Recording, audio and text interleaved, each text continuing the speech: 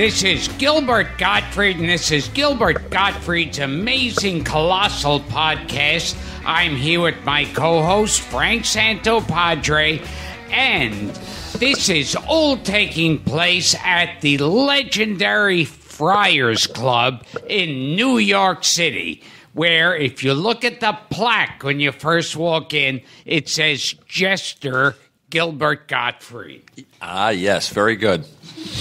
Our guest this week is an actor, author, voiceover artist, and one of the most successful and popular stand up comedians in the world. He's appeared in hit TV shows like That 70s Show, Ed, Portlandia, and Bob's Burgers, and starred in two Grammy nominated comedy specials. He's also authored two best selling books. Dad is Fat and Food a Love Story. His new series, The Jim Gaffigan Show, has received glowing reviews and has featured everyone from Chris Rock to Jon Stewart to former amazing colossal podcast guests Dave Attell and Steve Buscemi and Jim's co star, Adam Goldberg, and let's not forget Gilbert Gottfried. Please welcome fresh from his command performance for the Pope. A man far too important and busy to be caught dead appearing on this show, our pal Jim Gaffigan. Oh well, thank you, thank you for having me. This is this is an honor, Gilbert. Yes. This is this is cool that we're doing this at the Friars too, right? Oh, yeah. Now let's talk about your first special. Okay. Bitches be sucking my dick. Yes. now I'm known as a clean comic, but the reality is is that I have uh, uh, this new line of anal plugs. that- Oh, God. and what's unique about them is that they have my face on them. this is different than I thought it was going to be. He was much different. I didn't understand this. I wish they could see how many cards he has laid out right now. Now, now you, you, I heard, don't like to be called a clean comedian. I well, you know, do you want? Uh, you know, I think uh, comedians want to be known as funny, really, right? Yeah. So anything else? I think good-looking comedians don't want to be known as good-looking. I I hate right? it. I yeah. so, um, but yeah, I mean, I just would rather be known as a comedian who happens to be clean because God loves him more. You know, I mean? You know, it's just it's an advantage of being the chosen one. You know, Dara, Gil- Gilbert's lovely Yeah. wife and the co producer of this show, was saying before, before you got here, she said Jim and Gilbert are polar opposites. I- Jim is Jim works clean, Gilbert works dirty. Jim likes working with his wife, Gilbert does it grudgingly. But don't you feel as though I mean you could get the most different comedians, but I think in the end we're all weirdos. Oh, We're all- yes. there's something very even if somebody's like if Carrot Top was here right now, he would feel like a brother, wouldn't he? Oh, yeah. Right, It, so- it is that thing of like the psychoses are Right. all the same. And and so and everyone looks at the spouses or the partners of comedians with a certain like, oh wow, you you're sucking that up, huh? you're, you're trudging through the. You thought it was going to be easier. You, uh, these strong women that think they're going to fix us. you know what? I use a fixer upper. it's like training a tiger. They're not puppies. right? And now you actually love doing stand up. I do love it. Yeah, I love it. I mean, I feel uh, it's. Don't you feel great after a set, or do you feel? Or are you somebody who never feels good after a set? Well, I my fantasy right before I'm about to go on stage is that the manager is going to come backstage and go there was like a fire or a flood. that's interesting. Here's your check. Go home. yeah, that's it. I mean, I just feel as though uh, stand up can cure me of uh, life's uh, afflictions. Like, so if I'm tired, doing stand up can make me. It, it gives me a boost of energy, and then I can't sleep. But if I'm sad, it can change my mood. If I'm if I'm uh, overly confident, it kind of balances me out as to what uh, where I should be. So I feel like stand up. I you know like I always think it's strange when people are like, "Can you believe Seinfeld's doing stand up?" I'm like, he doesn't have a choice. Everyone, Yeah. It's like once you're a comedian, you have that heroin in your system, right? Well, it's it's like when the biggest news story in the world was did did you see Eddie Murphy was doing stand up? Yeah. And I thought It's not that weird. Yeah. It's not like uh, you know a, f- a quarterback playing in the fifties, and then you know what he's going to be playing for the Giants this weekend. It's not that rare. It doesn't. You know, here we are at the Friars. There are ninety year old comedians that go up that Oh, can yeah. barely move, and then when they get on stage, they kind of light up. Gilbert's one of them. Yes. You're not jaded about it. I I found it interesting to say, you know, to read that you, you're still grateful. You're still surprised that you're in show business, coming from where you come from. well, from. I am. I am grateful. I think that. I mean, you know, Attell and I always because you know Attell's complaining all the time. I mean, we're all complaining. yeah. but uh, I, you know, I do, you know, think that like I don't take for granted that there are a lot of people that have horrible jobs that um, that don't get to do what they like. And it's like, you know, not only do we get to do what we like, we also make a living. And so there is something about, uh, you know, stand up, I think, is the one meritocracy in the entertainment industry. I mean, it's it's horrible because it's in the entertainment industry, but it's like you either can make people laugh or not, and it's not as if you know, like look, there's there's it, it evens out every now and then, but it's essentially, you know, people are talented. Dane Cook's talented. You know, uh, Carrot Top, all these people, people might have, you know, like they might be jealous a little bit, but it's not as if comedians that you don't necessarily like their style of comedy, they're either good or bad, and they get the job done. And if they don't get the job done, we kill them. And you know, it's it's funny when because I always complain about where I am in the business, Yeah. why am I hate it, and I the the thought I always get in my mind is I envision my father sitting across from me. And saying to my father, who ran a hardware store in Coney Island, saying, "Oh God, it's it's awful. They they put me in this hotel room. Yeah, they're paying for it. Yeah. And but I gotta for like about forty five minutes to an hour tell jokes. Yeah. And then get off stage. It's like I got there and there wasn't free water or free Yeah, drinks. yeah. yeah. I mean, that's that. That being said, I think I was very. Um, I think I was very frustrated and bitter at the beginning. Like when I started stand up, I think I was somebody that did stand up for six weeks and was like, "All right, well, when am I going to be on Letterman?" Oh, yes. Like I think I was very um uh frust- I'm not I, I don't think I'm really great at navigating the entertainment industry. Like I don't feel like I uh like here we are at the Friars, which is like this legendary place where comedians hang out. It's like I love comedians, but like a group of comedians, I don't know if I'd want to be in a room with like oh yeah. do you know what I mean? it's, it's like the worst ad for the Friars, but it's just- okay.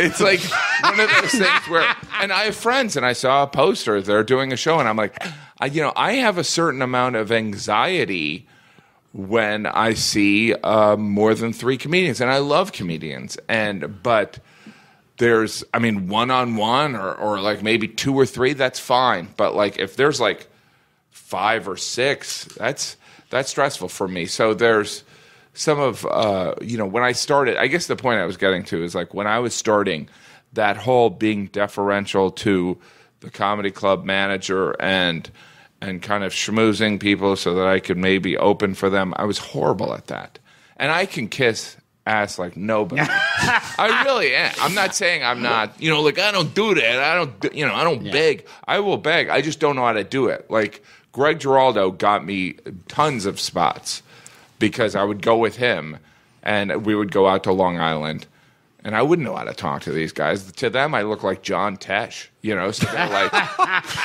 they're like, "Who is this guy?"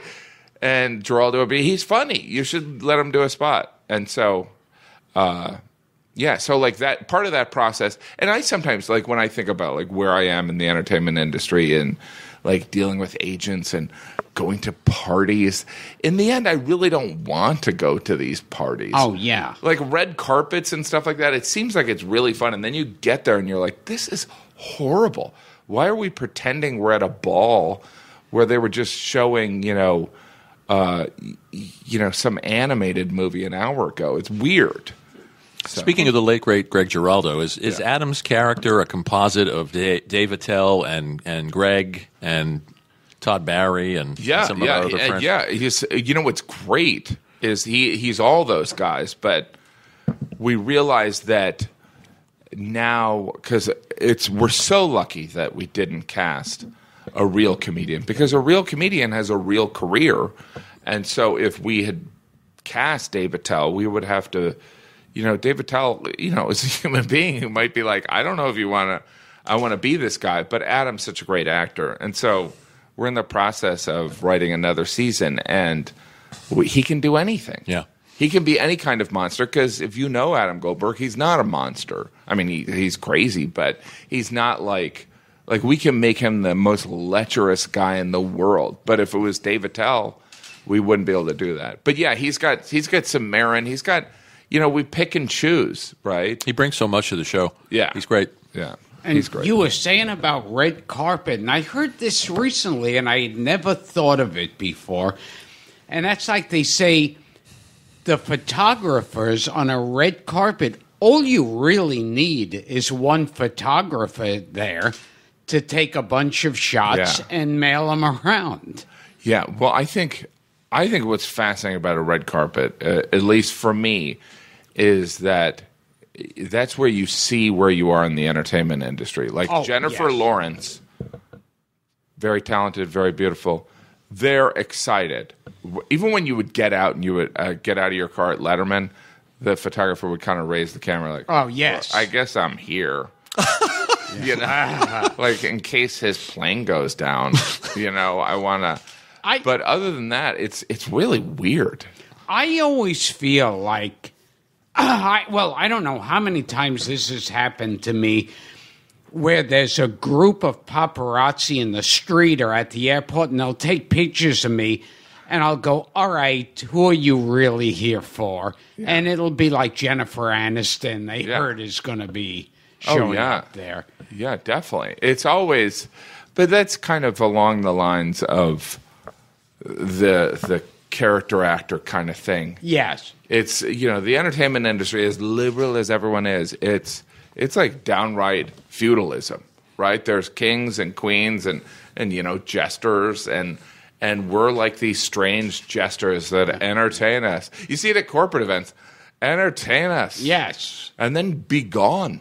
you know, and and I feel like when people take pictures of me at these red carpet things, it's just like it's almost like an insurance thing. Yeah. Like let's say I shoot somebody. Yeah. Later on the night, they have a photo of me. Absolutely.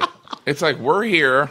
It's you know it doesn't Something matter. could happen that Yeah. gets them in the news. And you see how it's like contagious. Like so one person takes a picture. You see that when you're like in a restaurant and someone's like, "Hey, can I get a picture?" And Yeah. you know, people, you know, you're like, "All right," and then people are like, "Well, maybe I should get a picture with that guy." Yeah. I don't know who he is. Maybe that's maybe I, that's I've had it happen where someone is excited to see me and Yeah. wants a picture, and then someone else goes over and goes, um, "Why did they want your picture? Who are you?" And then they want a picture. Yeah. oh yeah. I used to. I used to have show, uh, after every show. I would meet.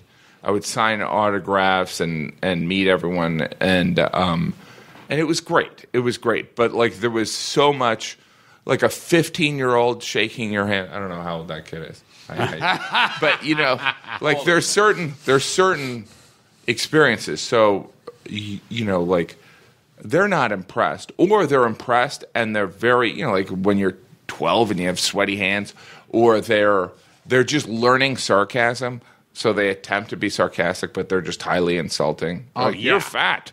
And Oh, you're like, yes, hi, how yeah. are you? And then, but there's also like the guy that doesn't want to be there, but is there because of his wife or girlfriend.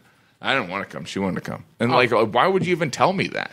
And and then there's a thing of like what I call good fan, bad fan, like where uh, two people are there and one will say, "You're great! Oh my God, everything you do is great," and then their friend is there giving you a dirty look. Yeah, it's yeah, strange. it's like And I think it's I think it's more of uh, I don't know. I mean, I don't really know these people, but I I don't know if like if we're if you and I are sitting at a diner, people are like, "Well, it's, it's Gilbert and Jim. We can bother them." But I think with like Brad Pitt, they're like, "Oh my oh gosh, yeah. We don't want to interrupt Brad Pitt. He's So you still- beautiful." you still think no, no matter how successful the comic is, he's still from a lower class, a lower rung on the showbiz ladder. I think it's. I mean, I think it's. Uh, yeah, I think there's also you know stand up. There is no fourth walls. It's a conversation. Whereas when we watch someone even in a play, you know, or or Jennifer Aniston, she's she's untouchable. It's this thing. It's this. She was on that magic screen, whether it's big or small. But like a comedian, they were talking to me. So I don't know. I'm a great guy. And also with comedy, it's like when comedians want respectability, they take a dramatic role. Yeah, it's very. I think it's interesting because there's, you know, comedians want that, right? We're we're relatively serious people, right? I mean, we're cynical people. Yeah. But I always think it's you see this all the time with like tele, television actors will get successful. I think it's they they want credibility, but there's also like the charactery guy that gets success, and success makes that guy think that he's suddenly good looking Oh yeah. you see that where people are like they're like posing and you're like dude you you're the dork. That's why there's nothing wrong with being the dork but you're the dork. That's why. And they're like no i'm actually but it is confusing when you get attention. I don't know if this has ever encountered uh, it's like i never got any attention from uh, women until like my early 30s and initially, I was like, "Oh, they're just being nice to me because I was on the Yeah. you know stage. They're being nice because I'm funny." And then around 35, I'm like, "No, these women like me. They think I'm hot." You know what I mean? It's like I know that sounds delusional because it is delusional. But do you understand where Yeah, like yeah. the the miscommunication of affection? Like you're like, well, if she thinks I'm funny, you know, I should probably be, you know, we should be naked right now. I mean, I'm married and I have like a thousand kids, but I remember just thinking, and because that's parallel to the character guy that gets successful, and it's like now I'm good looking. Like that, would, even the Hunchback of Notre Dame. Like there was probably like, I don't know if that's based on a true story, but there was a moment where he's like, you know what? People are into this hump Oh yeah. right? like this hump's pretty good. You know what I mean? It's like I mean uh, humps on other guys, but you know the combination of the hump with my hair, it works for me. You know what I mean? Chicks dig it. you enjoy every part of stand up, Jim? You don't, you don't like the road anymore, do you? With- you- I- because you got five kids and you miss them. Yeah, but you know it's also a great break. Yeah. You still romanticize that too? I I think the first night of out of town is amazing. It's like I'm sleeping in a nice bed, and uh, I know I'll be able to sleep in. There's not going to be you know a foot in my face or something like that. But the second day, I'm like, oh, what am I? What am I doing? You know, it's like I start hearing cats in the cradle, and I'm like, I, I should, I should go back there, right? Just to maybe pick them up from school. Like I don't, I don't know. Do you do you go to school in the morning? Uh, not that much. No, I don't. You Yeah. don't. Don't apologize Very- for that. Dara- Dara does that. rarely. I who does? Dara does that. Yes. Yeah, he doesn't do that. and you know, because we're nocturnal people, and we're horrible people. Yeah. No, but but like the morning thing, it's off the table. Here's the thing that's great about having five kids. I probably had to participate more when there were like three or four, but now there's five. I'm just like, you know, Oh, let's start- you throw them amongst each let's other. let's hire some people. We got to get some help here. But the morning I don't do. But when you're out of town you also have to be up at four in the morning to do, you know, Captain Jim and Wacky Joe and Yeah. their morning zoo. Yeah. No, it's there's something really especially awkward about some of those morning shows that that is I mean, it's very humorous how you walk into a situation and sometimes they just they'll they'll turn on you. Like they'll be nice, but like one guy will turn on you, and it, it won't be super hostile, but they'll just be. It's just like subtle. They'll be like, "Oh, this guy." Oh, yeah. And you're like, "Oh my gosh, they're turning on me," and you know, but it's a strange dynamic. You're a guest on their show, but it can be awkward. It can be very. and awkward. I always feel like what makes me awkward usually, I'm okay with the radio, yeah, but the early morning TV shows. that's very that's very hard, right? Because that's because they're all you know because I think they have the role of newscaster, and they're all dressed like Hillary Clinton. Yes. they're attractive people.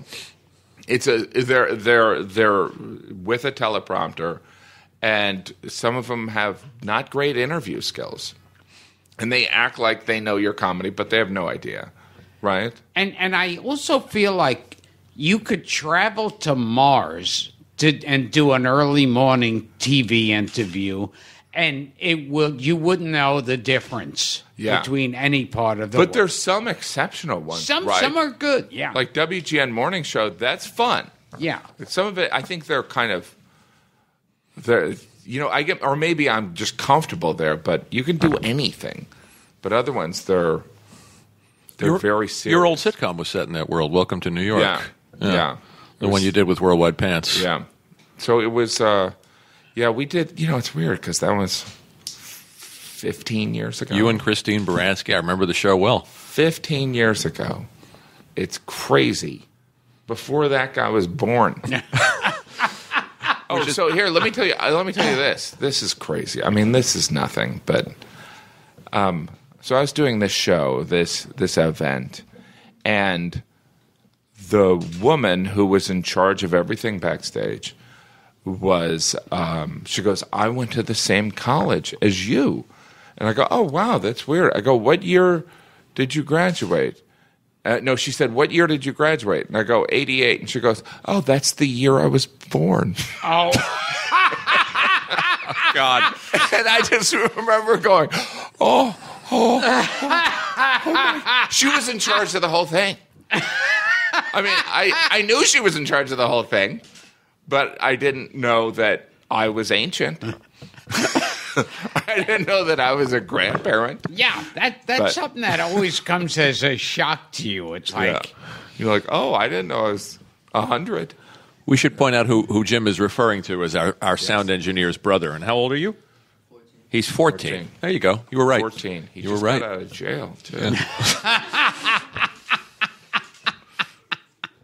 Uh, t- let's talk a little bit about your background, Jim, because now Sure. Gilbert said his father ran a hardware store. You're, you're, you come from a family of bankers and, and conservative Midwest. Yes. And I loved I mean- your line about how the closest thing to show business where you came from was the marching band. Yes, definitely. I, uh, you know, and when I say conservative, I don't mean like Rick Santorum. Right. It You mean like was- button down. It was like yes, it was. You know, after tons of generations in the United States, my dad went to college and he got the white collar job. It was it was a huge thing. You know, like where there was no country club there, but they would have been country club people, and so um, pursuing something like the entertainment industry was it was strange. It was just why you know you're. I was raised to like get a job that I didn't like and work till I was sixty, play golf for five years, and die, and that would be a good life. And at these events you'd attend, what did they say about the Jews? The Jews Going right for it, huh, Gil? Yeah, yeah. See, but that's. I mean, I don't look as Aryan I do as I do normally, right? Because my hair. Your hair's darker. I knew I was meeting a Jew. I was like, I'll dye my hair. Maybe I'll mix in. But it is weird. It is weird. It is. I mean, I think it's weird that there are country clubs that are Jewish country clubs. Don't you think that's a little insane? Oh yes. I mean, but did you grow up? You grew up in a Jewish community, right? Uh, no, not Like you really. knew there was an Italian guy who had a pizzeria. no, but it was diverse. Uh, yeah, I remember. Well, I grew up in uh, the Crown Heights section that was mainly like black and Puerto Where Rican. you where you guys would Yeah. beat up the black people. yeah, yeah, The Jews are beating up yeah. the black. People. Yeah, like like way blocks up or the Hasidim, but no, Yeah. I wasn't in that one. Are you from Coney Island proper or Crown Uh, Heights? I was born in Coney Island. Okay. Island. Okay. So like Alvy Singer, Oh yeah, but not under the roller Yeah. coaster. Wow. You said something interesting. So back to Jim's Oh, anti-Semitism. yeah. he doesn't stay with one thread very long. um, what's that? No, Yeah. tell tell us about what they said about the Jews. No, there, you know what? It was. I, you know, here's the great irony, Yes. or the thing that I think Yeah. is interesting is, look, I'm very white bread.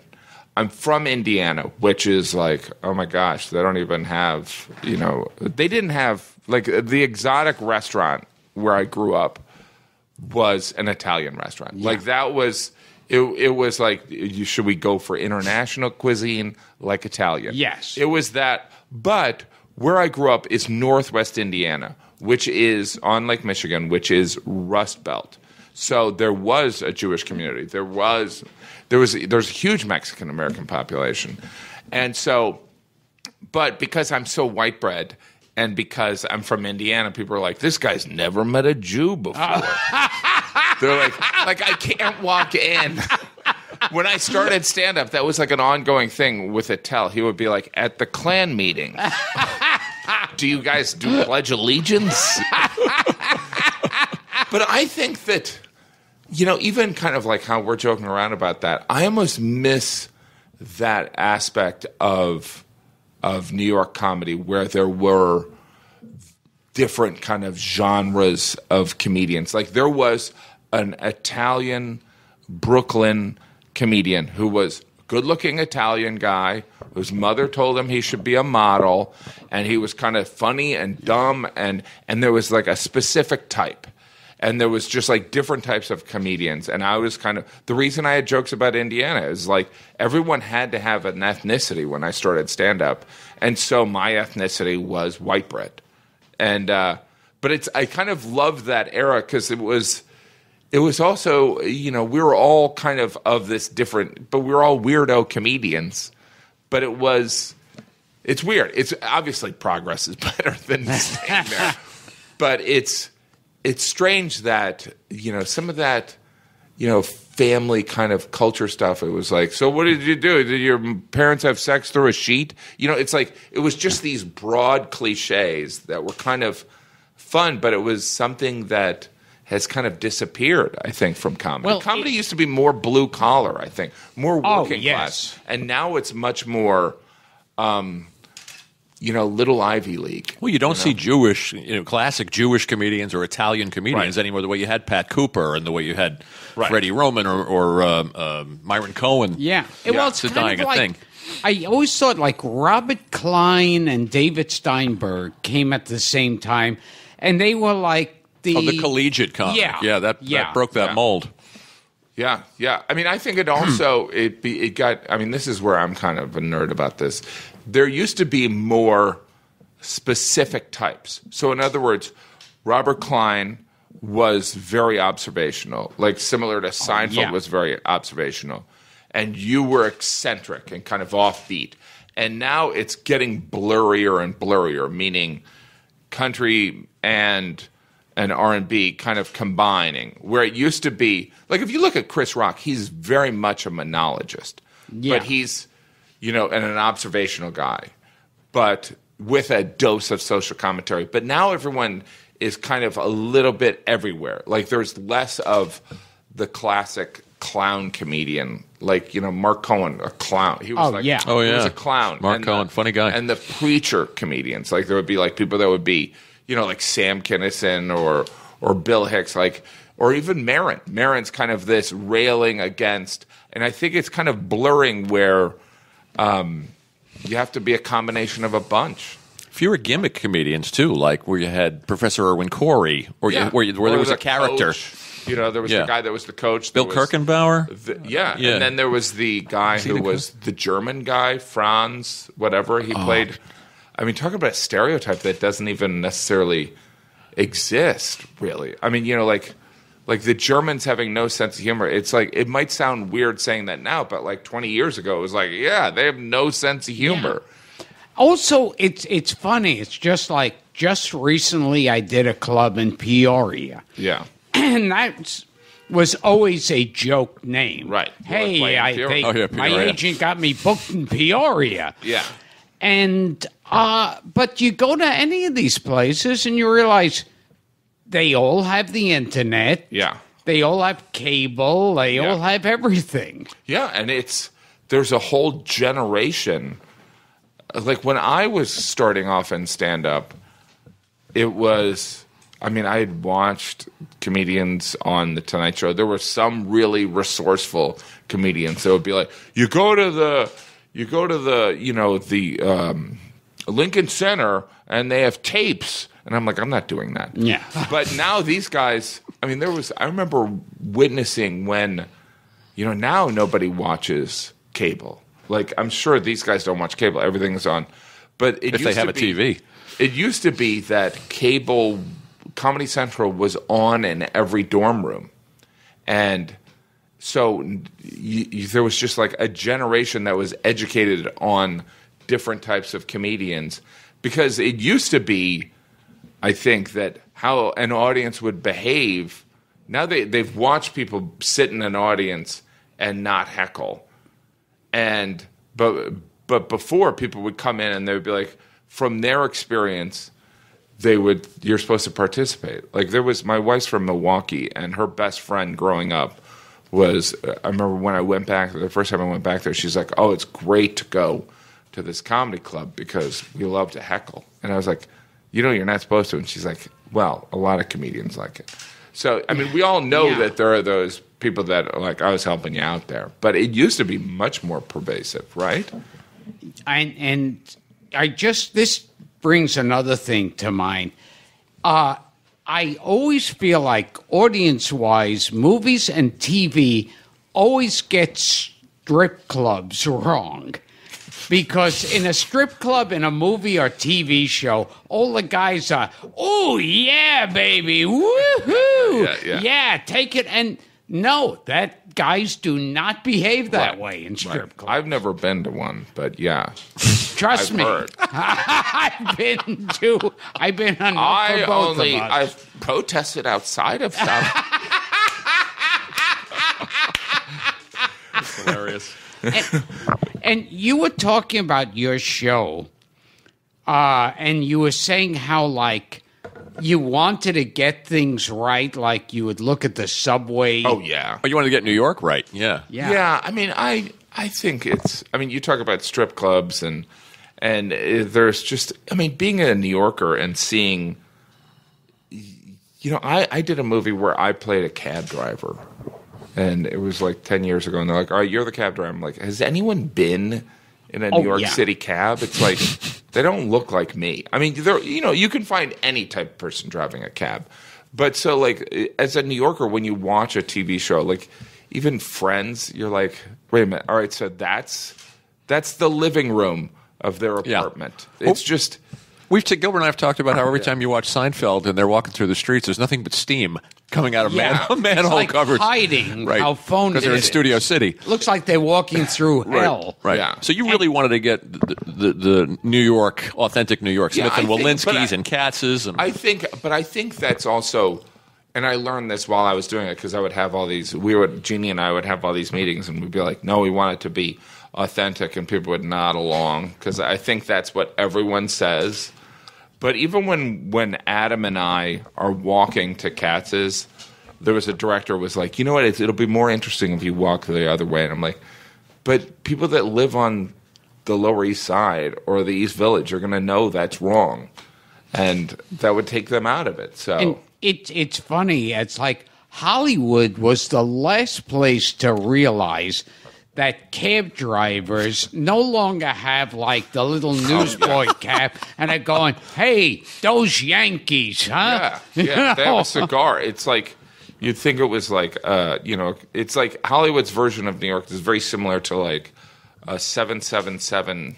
Uh, you know, like the the Carmel cab commercials. Like they're Oh like- yes, That's a weird. you watch or like you know like a local car dealership. You're like, wow, someone should have told the guy not to do it. sometimes I'll see in a show that's supposed to take place in New York, and they'll they'll say something like, "Hey, you know, meet me on the corner of uh, Central Park and the Empire State Building." Yeah. like they'll know Yeah. two kind of locations. Well, you know, it's also on the show. We go to Katz's a lot, and There's a lot of pastrami on this show. yeah, and you can't. I mean, I I could, but you can't go to Katz's that much. I mean, you'd be dead. Yeah, but but some of it is also, uh, you know, this is uh, totally. Uh, it, it's like capturing that New York place because sometimes even Sex in the City, there are shows that shoot in New York, and you never like they go into some room and they're like, "Here, we're shooting at the f- fanciest restaurant here," but you can't tell it's a fancy restaurant. like Sex in the City would do that. Oh, yeah. Where Yeah. You, you'd be like, "Oh, they're like, here we are at this fancy restaurant that you can't tell it's in New York City." So we wanted to, and and Katz's you can. It's a big enough space where you can see what's going on, and it can capture some of New York. It almost feels like New York eateries are part of the you know the cast of the show. There's Oh, Veselka and there's as I said Smith and Wollensky's and Yeah. it's really it's like a little bit of a travelogue. Yeah, and it's but it's I I wish that because I don't go out to dinner that often. Do you go out to dinner that often? no. I mean, there are people that there. You know, I get emails. They're like, "Where should I go?" And I'm like, "I have five kids. I don't know." I mean, I sneak away to Katz's, but I also like the closest, most convenient. You know, I'm. I'd love the idea of a culinary adventure, but I'm like, I'm not gonna go to like Greenpoint And for a burger. The other thing that gets me is in in movies when a character gives directions and they go, okay, you take the A train and then you switch over to the IRT to get there. And I go, no, those trains wouldn't take you there. Yeah. yeah, no, it's I mean there was uh, I was working on something and uh, I don't want to out the guy, but we were in around Penn Station and he was like, "Yeah, we should shoot here, capture some of Times Square." And I'm like, "Holy cow, this guy doesn't know." and you're like Penn Station's pretty different from Times Square. Speaking of New York, is this true or bullshit, Jim? That you saw the uh, episodes of The Odd Couple when you were living in in in, uh, in Indiana, and you thought, well, New York looks sophisticated. Yes, definitely. Well, sophisticated, but also um, gritty or something, or energetic. Like it was probably just exterior shots. I haven't seen the Odd Couple. Yeah, in it forever. seemed like they probably shot the opening in an hour. right. Yeah, well, you can see the streets. You can tell if you look close. Oh, yeah. Oscar's looking in the strip club window. Yeah. which is long gone. We should say uh, uh, take a moment to say Al Molinaro played Murray the cop just Oh, passed, yeah. passed away this week. Since Yeah. we're talking about the Odd Couple, but And now that show's back on. What's the new one like? Oh, Is it with- I think it might have come and gone already. Friends? Matthew Perry. Matthew Perry. I watched about 15 minutes of it by accident, and I was going, what is this exactly? So wait a minute. So Matthew Perry, He's the Oscar. He's Oscar. Yeah. Because when I think of Oscars, Oh, yeah. He's the first. I think of good-looking guys, Yeah. full heads of hair, and that that look like they should be in Mm. And that's another thing that's weird with comedy. It's like there used to be this, you know, Nat Hiken who uh, put on, you know, Car 54 and Phil Silvers with uh, uh, Bill Bilko. Bilko. Yeah. yeah. And he liked funny looking people in comedy. And Friends is like they stepped off a magazine cover. Yeah, yeah. Well, I have a friend that points out that even SNL, people on SNL, don't look like comedians. Oh, yeah.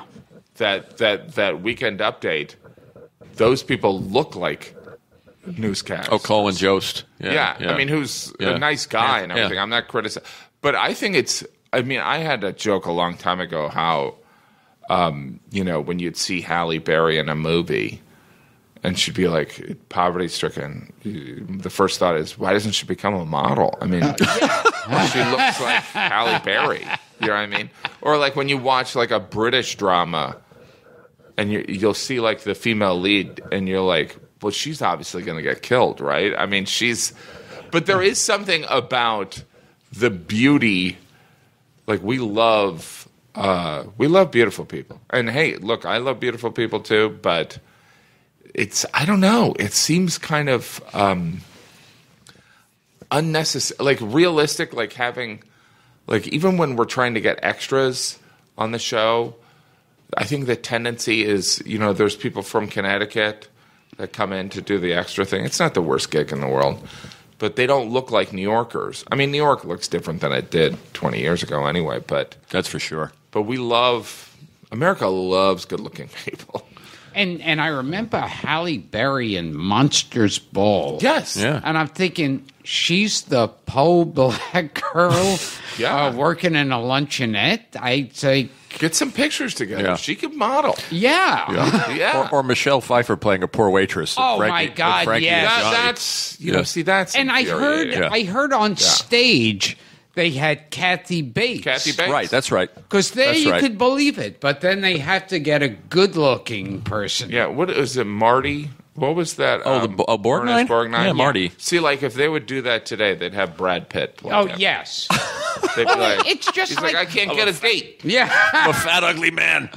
or like I remember, and I mean, you know, he's certainly a good actor and everything, but George Clooney in that movie, the I, the Descendants or something like Yeah, that. the, the, the one in Hawaii yeah, where his and wife I'm dies. thinking, uh, how I can't, I can only feel so bad for him because I'm looking, I'm going, he's George Clooney. Absolutely. Yeah. Absolutely. You know, no matter what his problems are, this guy could get laid in a second. Well, I also, I also have. I think it's strange that um, newscasters are good looking. I mean, there's no reason that we need to hear about Al Qaeda from someone wearing lip gloss. Do you know what I mean?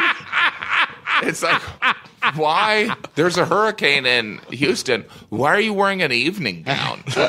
It's weird. Well, I mean, I find they have hotter looking girls as anchor women than you could find on like the Playboy channel or stuff. Yeah. I mean, totally hot looking. Especially on Fox News. Oh, oh, Where they're yeah, all blonde and yeah. blue eyed goddesses. Well, they're doing that on ESPN too. Yeah. There's like really attractive women. I only see them as a daughter or a mother.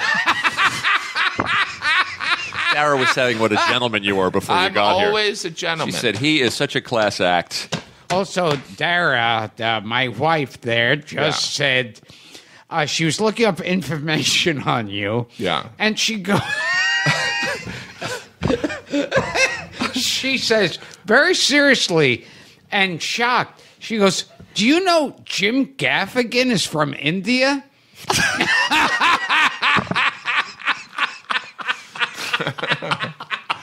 India. Oh, poor Because it Dara. was Indiana. I thought there must have been a section of India where people are very light Special Sikhs, light skinned Sikhs, I wish. pale Sikhs.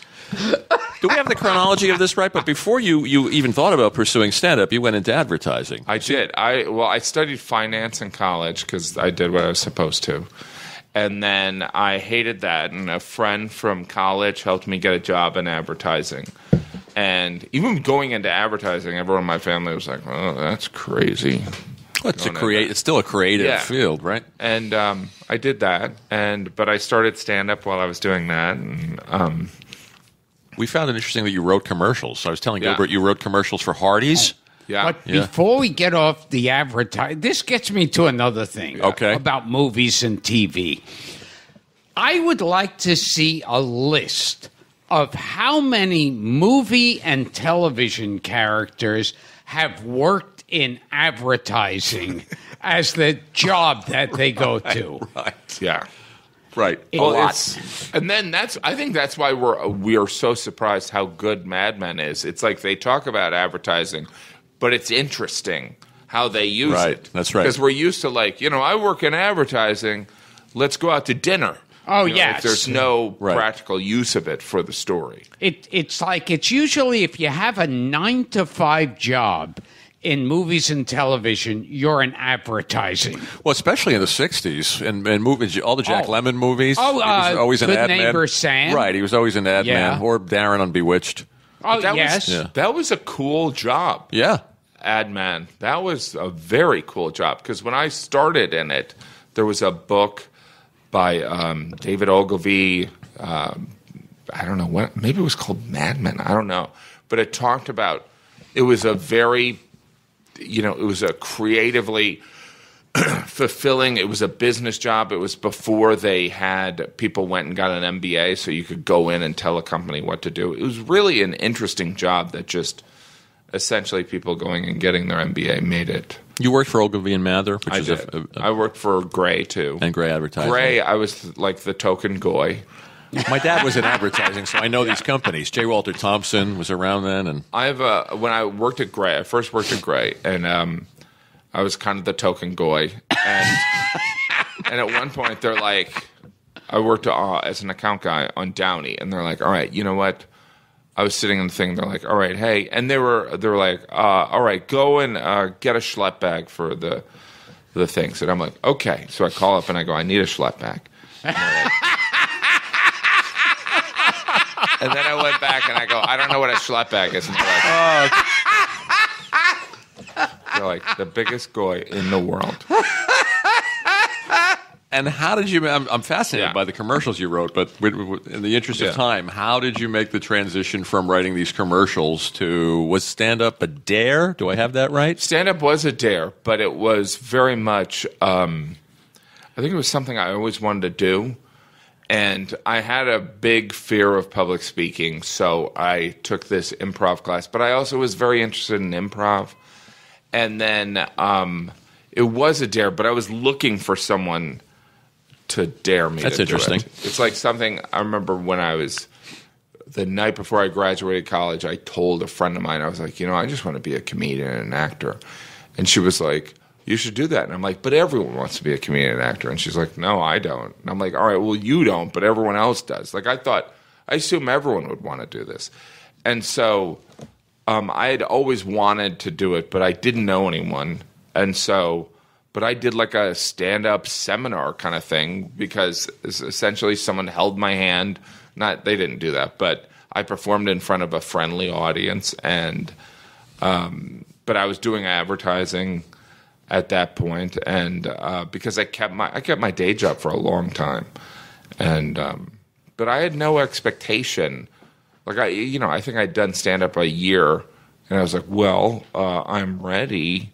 I'm ready for the piles of money. But it was a, it was a long, long journey to Letterman. And it was, yeah, and everyone in my kind of generation or group had uh, gotten Letterman or Conan, and um, I would go on stage, and the bookers would kind of be frightened to make eye contact because I was the one that they were not interested in. So they'd be like, "Hi."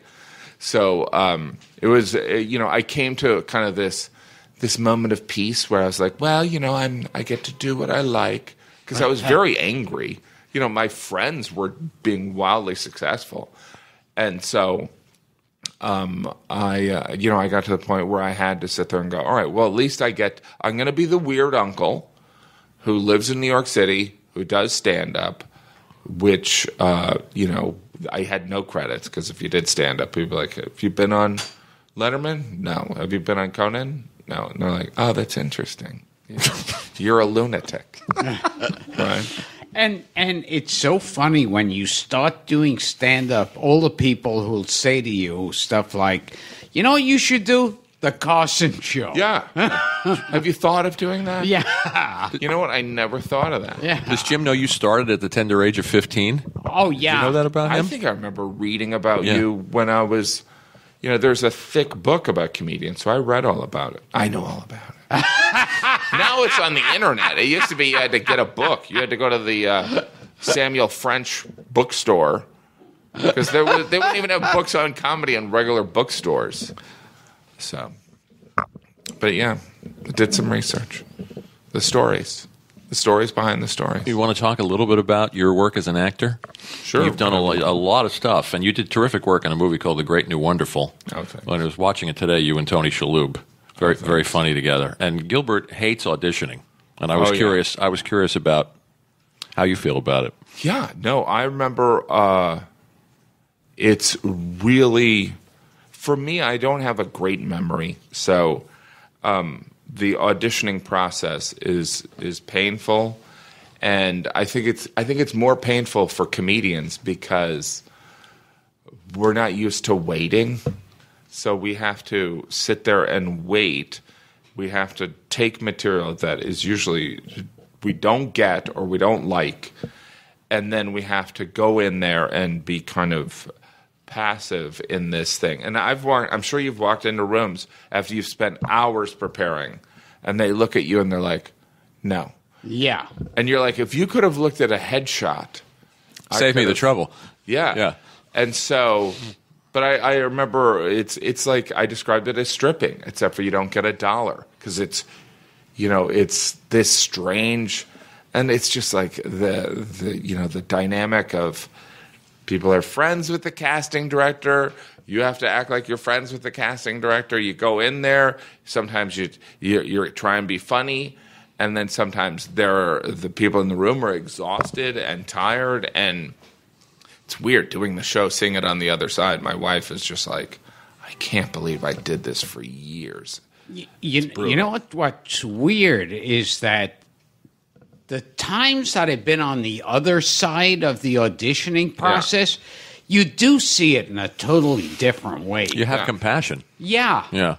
and you go uh you, you know and and i'm like the worst person to talk about this and that's when you see people who come in and audition and you go oh you know they say hi oh i'll be reading for the part of doug or whatever Yeah. and you go i kind of like this guy and then when they start acting they're acting and it's like all of a sudden they lose whatever Yeah. was charming about them Yeah, yeah. It's it's a really weird thing because it's it's never uh, uh, the dynamic that you're in, and I also feel like I always felt like people that were really good at auditioning were people that had the advantage of a photographic memory. So, in other words, they were good at memorizing things, which is different from the task of acting.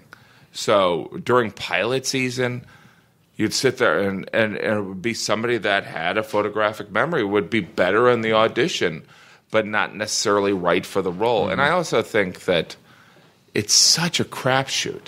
It's such a crapshoot. And your agent tells you, oh, these people are really keen on seeing you. oh yes And you go in there and, and they're like, thank you so much for coming in. And then you walk in the room and they're like, who's this? You're like, remember you wanted to see me? And they're like, okay. And you're like, what, what the? Well, tell Jim about Dick Tracy. the what Tell Jim about Dick Tracy. Oh, Uh, relates they, to that. They had me come in and audition for the part of Mumbles, and they said when we were writing this part, all we could think about is Gilbert Gottfried. You're the only person Yeah. we we don't want to even want to look. We're not having a. If you do this, if you don't do it, the part's not even in the movie. And so then I was assured I had that. And then they go, oh, uh, they're not going with you. And I said, oh, okay, who are they going with? And they go, Dustin Hoffman. and I'm thinking, so at what point were me and Dustin Hoffman going uh, nose to nose love on that. this? I've lost. I think it's because being a character actor is it's very similar to uh, you know it's like Code for Ugly, right? Oh, yes. And so it's like I also have auditioned for parts. They like me, and then I'll say who got it, and they're like Cedric the Entertainer, and I'm like so they switched. They com- went a completely different way, like uh, like Cedric the Yeah, Entertainer. yeah. no, like they'll just switch completely, and you're like, why did I even have to audition? Oh, You're yeah. obviously. And then sometimes you audition for things just because the offer they have out is not set. So you're like you're auditioning for something, but they're like, you know, if we can get Liev Schreiber, we're gonna give it to him. But we got to see if he's taking a vacation. Oh week. yeah. you know. So it's brutal. It's humiliating. One But- time, I, years ago, my agent sent me up for this part, and she goes, "Now play it straight when you go in there, play." And and I went there, and they were look staring at me when I came in, Yeah. and uh, and they said. You know this part is for an 80 year old judge, don't you? Play it real straight. Yeah. Yeah. Yeah. No, it's just insane. It's insane. They just want to see you. Like I, I, I, I still at this point find it hard to say no to auditions. Like I'll be like, I don't know if I'm right for this, and they're like, Well, why don't you just go in and waste a day? Why don't you just waste Yeah, two days of your life? And you're like, Well, I don't want to. It's like this is for somebody that I'm not this type, and they're like, just go in, just waste your time. oh, yes. And then you go in and then they're like, you know what? They don't know if you're the right type. I knew I wasn't the right type, but I can't say no. One time, my agent sent me for like a jeans commercial. Oh, I think of you for that. yeah. you and Brooke Shields. And I said to my agent, I said, well, all the guys and girls in jeans commercials are like models. Yeah. They're beautiful models.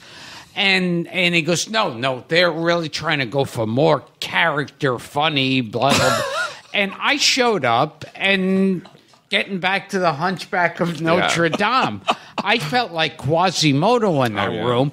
The guys and girls are like gorgeous. Yeah. And and it's like me. It's like uh, I, I- felt like a circus freak. I want to live in a world where it's Gilbert Gottfried yes. for Jordache. Yes. Wow. You, you got to go to another podcast, Jim, and we're we're probably running oh, short well, on we time. should. Frank and I are always interested Yeah. in character actors, old character actors you've worked with. Oh. Well, you worked with the great Brian Cox on stage. Brian I saw you yeah, in that championship amazing. season. He was, I mean, that's, and it's interesting. His story, he was this guy who. He's from Scotland, which Yeah. Gilbert knew. I didn't know. who did who did I mean he would tell a story he was like yeah I traveled around doing lights for 3 years just watching this these people act and that's I mean it's really humble some of the experience they do in the UK like they don't do any acting for like 10 years before I got to carry one spear on stage. And I'm like I wouldn't do that. But I'm trying to think of like great character actors because I do love the great character actors. But um Mistaken for F- Philip Seymour Hoffman, but never Oh worked yeah. with him. Yeah. No, no, I did. I did you? improvised uh, a movie for Bob Balaban that never.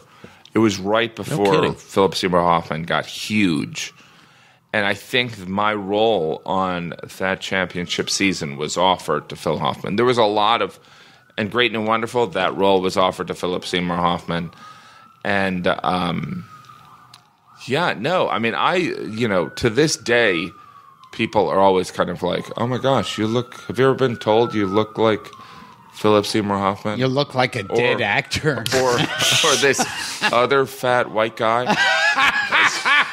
Have you ever been told you look like a fat white guy? That's what my Twitter feed is. Or, or, like if there's a football pe- player, people will go, "This is like a thin." Like if Jim Gaffigan was thin and good looking, this is what he looked. They send me photos all the time. Well, you know, this show, you know, we, we dive deep. We talk about ob- obscure old show business. Yeah. So, you, you- Eartha Kitt was, I was doing Yes. some research on, she was on Welcome to Yes. New York. Did you work with her? I did. Yeah. and she was she was pretty amazing. She was really, really Forgive the siren. But you know, I mean, by the way, it's like, I mean, I guess Cloris Leachman's, but like Cloris Leachman is a genius. I Oh, mean, you've both worked with her. Yeah. Oh, I think she's like, like wow, like it was when we were on the Ellen show. She was so funny. I think Ellen was threatened at times. Oh, how yeah. talented Cloris Leachman was, and Cloris is crazy.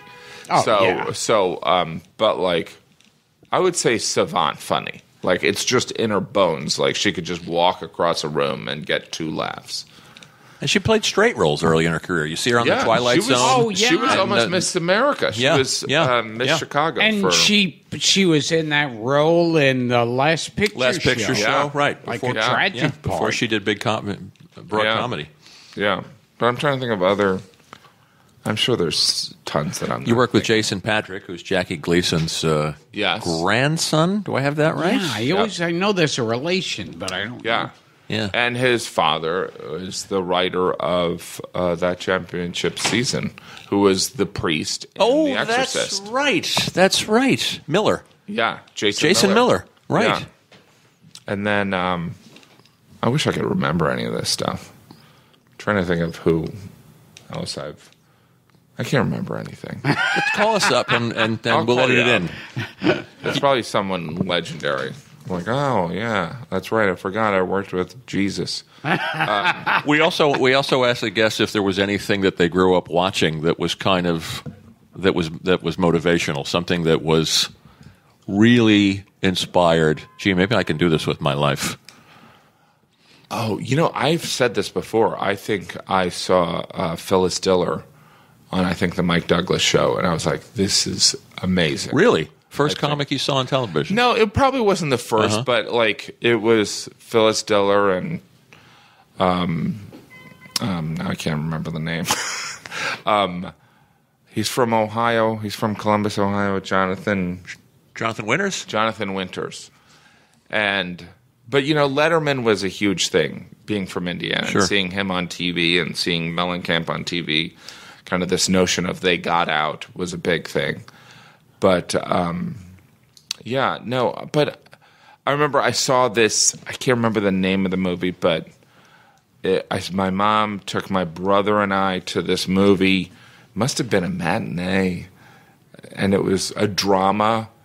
And uh, but we were at the Chicken Unlimited, and my mom said, "What do you guys want to be when you grow up?" And my brother said, "A helicopter pilot," and I said, "I wanted to be an actress."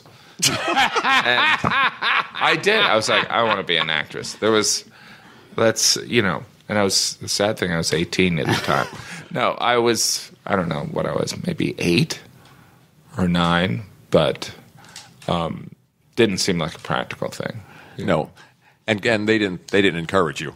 No, And- they you know Yeah. they thought it was this neat thing that Jimmy was doing. Oh yeah. Jimmy's doing stand up. like when my dad, my mom passed away, my dad got remarried, and the woman was very nice, and she was like, maybe at the wedding you could do some stand up. Oh, oh yeah. And I'm like, I'm never coming back here. I never asked you this, Gil. What was your family's reaction? Uh, I see. That's the thing. I can only imagine what was going on in their heads because that was like, especially, and I realize with myself when I get as I get older, Yeah. I look at things more realistically. Absolutely. And so to say I'm going to make it in Yeah. show business is like saying I'll go to a 7-Eleven, buy a lottery ticket, and win a billion dollars and live off Absolutely. that. You know? Especially, you know, like you also have been at this, we've been at this long enough. Like, I think there's one thing to be a comedian, but there's another thing to, like, actor. Actor, are you out of your mind? Oh yeah. Are you, are you like because I've always done the acting and stand up and it's Yeah.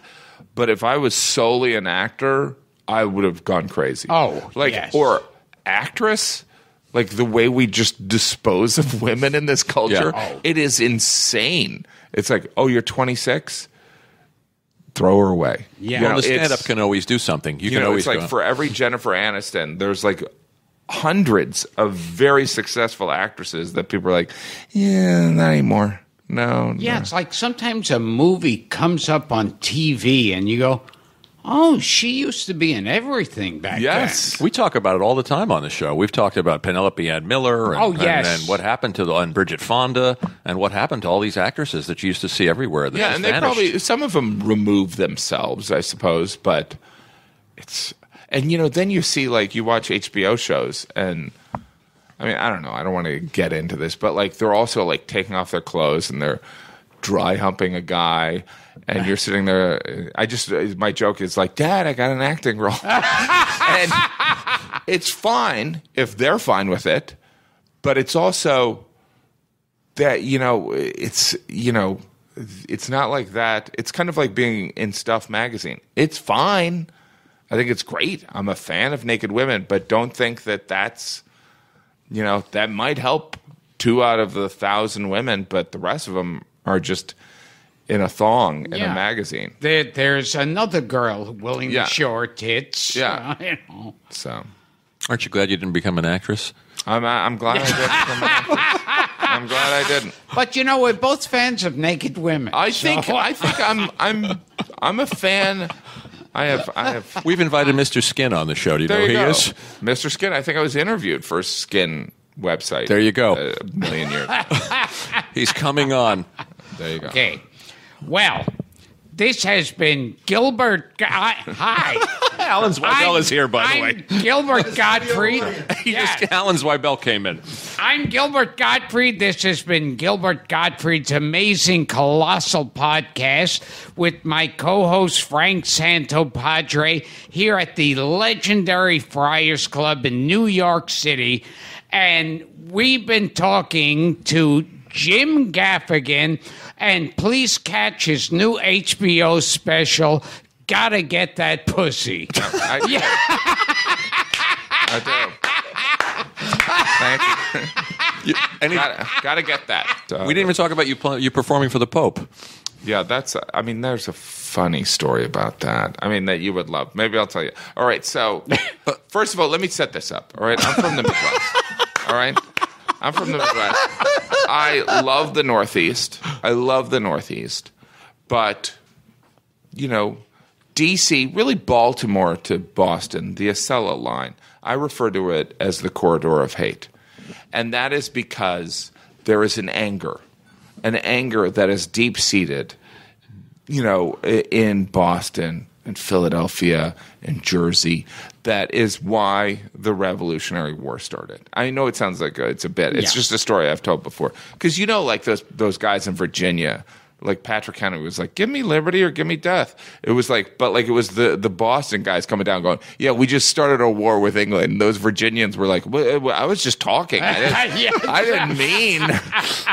and so anyway so there is an anger there like you know it's a combat which goes back to you know if you can make it in here in new york you can make it anywhere but that applies to all the northeast so i'm in philadelphia i'm opening for the pope but i'm not opening for the pope i'm opening for the pope mobile you know like i do stand up sister sledge comes on the pope mobile drives around and so and and I'm on the Ben Franklin Parkway, right?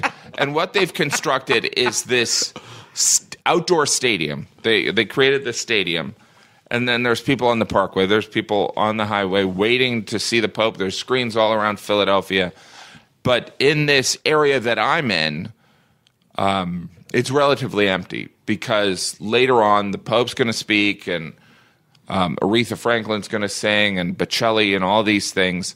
So I'm kind of like on I'm on like the the afternoon Republican debate. You know what I mean? So I'm before that. So it's essentially an empty area and I'm doing stand up. So I go up on stage and I'm doing some jokes about Philly and all this stuff and I said, you know, Philly like one of the jokes I said was like, look, uh, being very self-aware. I'm like, I know that after my set you're going to want to leave, stick around. There's this guy coming up that's amazing. So he's 78. He used to be a bouncer in a dance club. Stick around. And the other joke uh, I did specifically was I go, Philly loves the Pope. Philly loves the Pope. Not that I was worried, but you guys weren't that nice to Santa Claus. Now, do you know about the Santa Well, it's an Eagles thing? game, wasn't it? It was an Eagles Yeah, game a yeah. hundred years Yeah. ago. It was like 20,000 people in the stadium. But here's where I forgot that it's the Northeast. Where I forgot that it's the Northeast is that these people don't like it when people bring that up. they don't like it when they bring that up. So, again, I'm essentially performing for an empty stadium, but there's people in the streets. And so, in the corner of my ear, I, my ear, I start hearing boo. Oh, boo. So there's only like 20 people doing it, but they're booing the guy before their spiritual leader comes on. Like, I just love that. That's like only in Philadelphia would they sit there and go, "Yeah, you know, we're gonna hear this guy talk about forgiveness and all this stuff, but this guy, boo!" It was just, I just loved that whole experience. I was like, I wasn't even thrown because I was, it was empty, and it's like it's a no-win situation, but like they, I got booed. I got booed. And it was not even that great of a joke. And then my Twitter feed, people were like, look, bringing that up in Philadelphia is like bringing up the Holocaust in Germany. Like, Not quite. I'm like, first of all, the Holocaust happened. And second of all, Santa Claus is not real. but I loved it.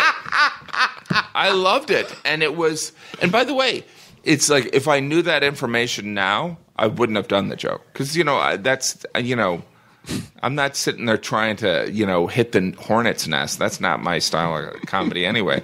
But there were, they're about to see the Pope. And if they could have tackled me, they would have. Like, we should beat this guy. But that's the Northeast, right? That's Jersey. That's Boston. That's, you know, Did you ever meet the Pope? I did meet the Pope. Wow. I did meet the Pope, and he had no idea who I was. of course, he had no idea. And there was a guy, there was an Italian guy or a Spanish guy, I think a Spanish guy standing behind him going, uh, Comedica, the Comedia, the famoso Comedica, uh, Jim Gaffigan. And the Pope's like, yeah, I don't give a care. I don't care. But I got my mother-in-law, who's very a very devout Catholic. She met the Pope, and I was like, I win. I win. I'm the best son-in-law ever. Hands She down. met the Pope. So now great I have story. to do this. Will be gotta sign of off again? Our twice ending shows. I'm Gilbert Gottfried. This has been Gilbert Gottfried's amazing colossal podcast with my co-host Frank Santopadre, and we're still at the legendary Friars Club in New York City. We're here with Jim Gaffigan. Uh, please catch his Cinemax special. Loves me a hairy pussy. Yep. Yeah. It's got subtitles. All right. Thanks, you guys. Thanks, Jim.